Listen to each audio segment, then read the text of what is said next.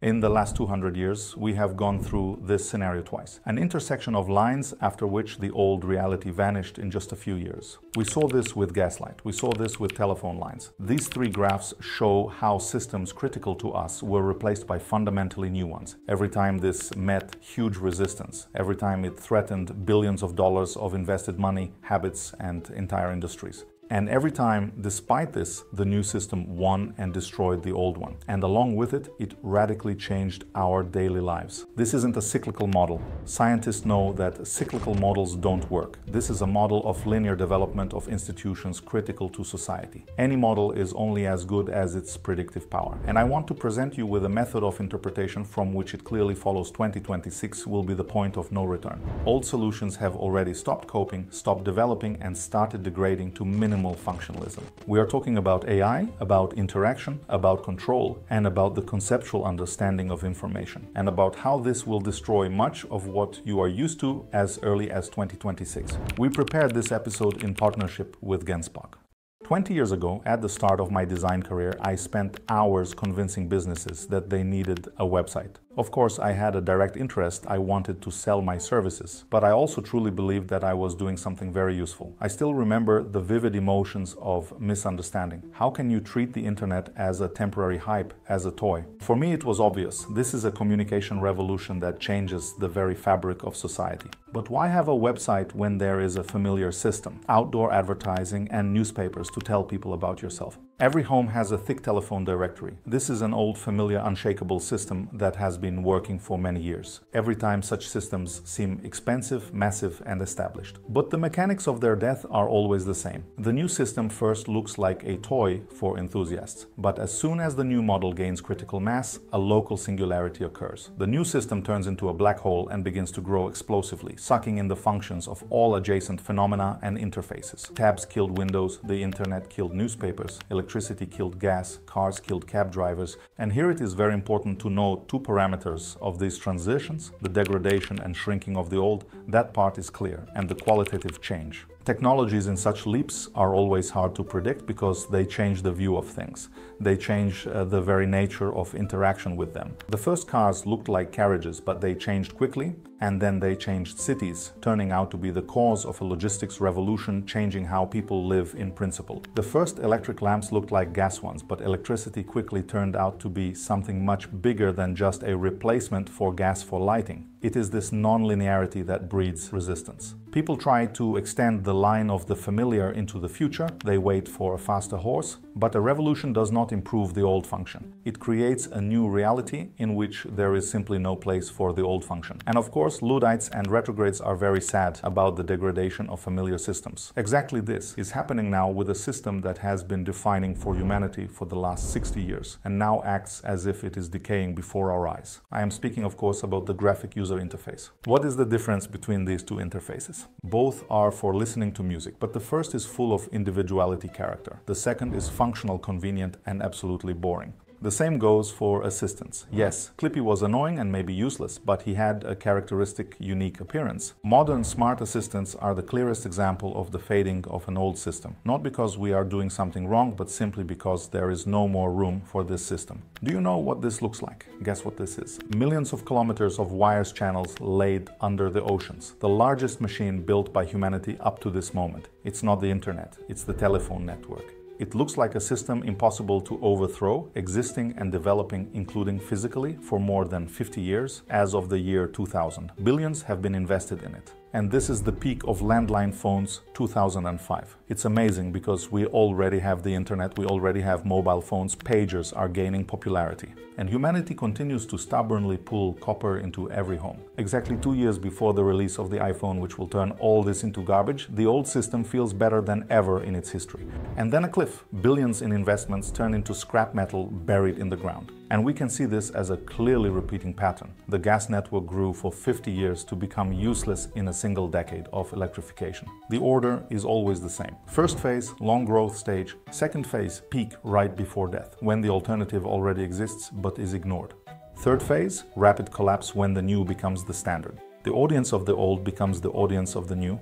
The old is abandoned or remains for some separate special needs. And now let's see what is happening right now. Briefly, exactly the same thing is happening. The computer mouse and Windows are the legacy of 1968, the legendary presentation by Douglas Engelbart. If we put the growth of GUI users on the graph, we will see the same saturation pattern. And in 2022, GPT appears and makes noise in the news. The speed of adaptation is 50 times faster than the spread of the internet, and we have a fundamentally new way of interacting with information. We use the command line interface and messengers to communicate with superintelligence. It is literally like in the 19th century when electrical wires were laid inside old gas pipes, simply because it was more familiar. But factually, this is an infrastructural dead end, a limiting habit of the transition period. And by all indications, what will happen in 2026 will become the iPhone or the Edison bulb in the world of AI. And we have every reason to assume that it will be connected with agency. Already classic LLMs, ordinary chatbots, look like the first Nokia smartphones. Yes, they are smart, but this is an attempt to improve the classic dialer to stick new functions onto it. But we need a rollback in a good sense. We need to destroy familiar patterns to make room for new ones. And the main limitation is clear even now. AI must be able to act. New generation systems are already appearing that offer not just a chat, but a full-fledged agentic experience. The most popular example, which not everyone defines as the new generation of AI, is deep research systems, which represent this agent experience, so they are in almost all LLM services. But deep research is the first swallow of this very agentic revolution. And the clearest example of of what this transition looks like in practice is Genspark,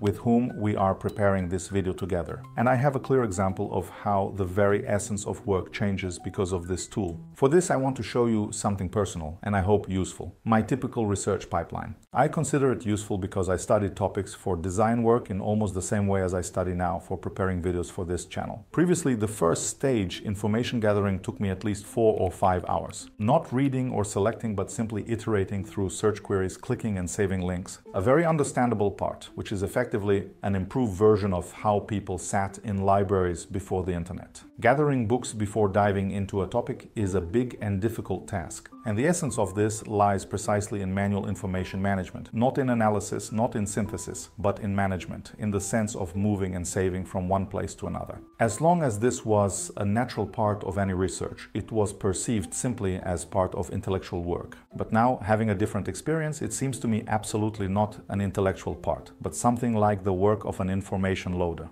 and I have absolutely no desire to return to such tasks. How does it happen now? The first step is the most understandable, the request. Teaching prompt engineering in our time is already bad form. I will just say the obvious thing that the request must be understandable and complete. And here is the difference between Genspark and thinking models. I get an agentic response. This means that the system searched, drew conclusions, understood something and continued the search with this understanding. This is already a sign of autonomy and agency, and this is already good. But in the Genspark interface, this is not deep research yet. Having received general information, having understood if I need to dig further, I usually decide. And if yes, I transfer it to the hub, where there is already a project with my context. And I launch deep research, a full-fledged one.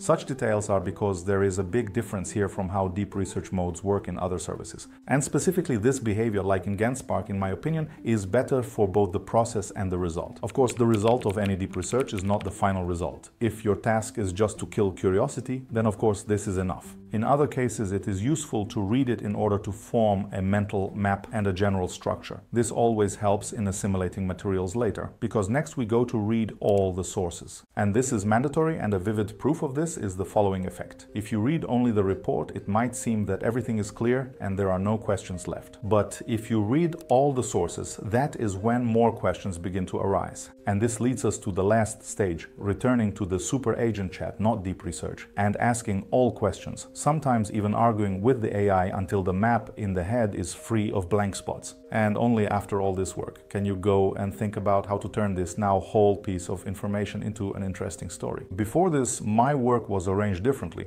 I want to draw attention to where we should draw the line between different approaches. It's not about whether there is AI in one place and not in another. For example, Apple builds AI-powered text editing features directly into the system, and there's no context or agency involved there. Google is trying to expand this to Google Docs and Gmail, but implementations there are spotty, and most importantly, ideologically, this is an addition to GUI. In our analogies, this is like making a home handset, a cordless phone not tied by a wire to the base station. This is good, it is a competitive advantage and will prolong the use of the technology, but factually, this is definitely not where we are going. This is typical retrofuturism when the picture of the future is built on understanding the present and not on searching for points of radical shifts in functionality and interaction. The real shift happens when you build context together with agents. Right now, I am following several services that, in my opinion, have every chance to change the user experience with LLM radically. And regarding the giants, there is a feeling that they are too tied to the infrastructure of the past, which does not give them an exit to the new. Context collection during work and multi agent systems are the next step. Some see hype in this, but I am deeply convinced that this is becoming more important than the sheer power of models, which are already smart enough for any task. Using the example of Genspark, it is perfectly clear what context collection is, when an LLM is not a set of chats, but a workspace. Once again, I want to emphasize it is not the functions themselves that are important, but the fact of collecting context during work. For full transparency, I would like to clarify the nature of the partnership with Genspark for creating this video. In this video, there is no and will not be an ad insert, although some calls to action will be sounded. Everything I will tell is an important integral part of the video topic.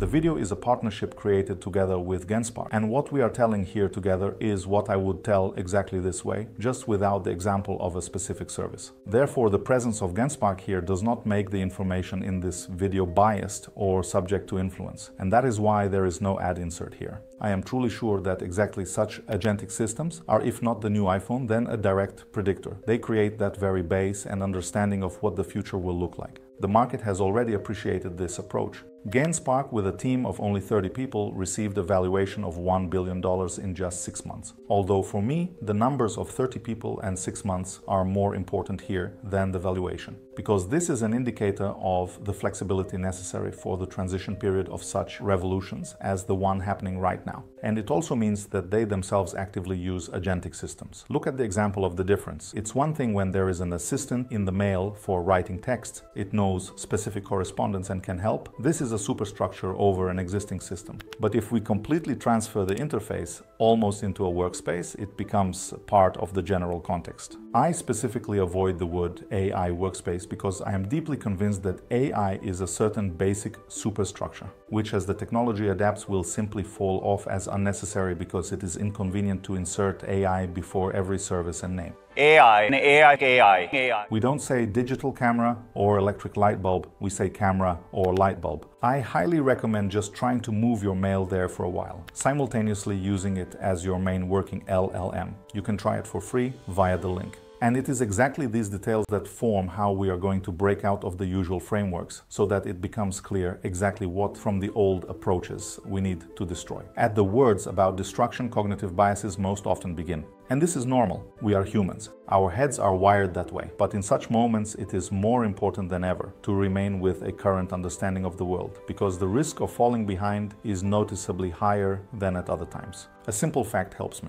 Developers, investors, big companies, everyone loves AI and sees huge potential in it. But those who are called by the offensive word consumers are resisting very much. Right before our eyes, a very vivid example occurred. At the Game Awards, two awards were taken away from the game Clair Obscur Expedition 33 because information surfaced that the developers experimented with AI. Behind AI, they see soullessness, artificiality. And what is very telling, they saw exactly the same thing behind many other revolutions. Photography is just chemistry and mechanics. Cars are soulless iron. Gas companies sponsored articles that electric light burns out eyes, causes madness, and that live wires are death traps and this is understandable. Suddenly, values built on a familiar system collapse along with that system. I, for example, was always very valued by colleagues for deep knowledge in Excel, in how to build graphs and write formulas correctly. And now this turned out to be a useless skill which already does much more complex things by a simple request than I ever could and it becomes hurtful. I spent dozens of hours learning this. But one needs to be honest, my value was not in knowing formulas. It was in the ability to find the answer. And if now the answer is found in a second without formulas, it means formulas were just a barrier, not a value.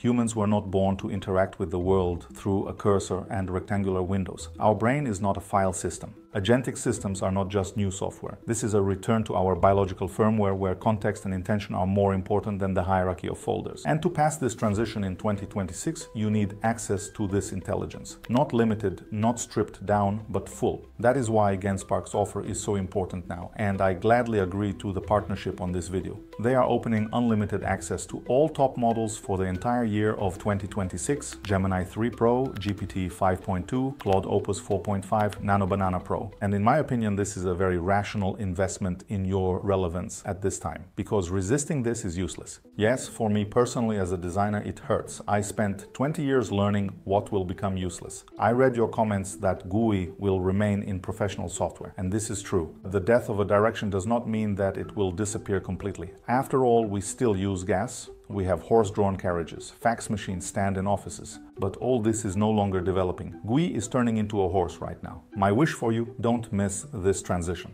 Bye.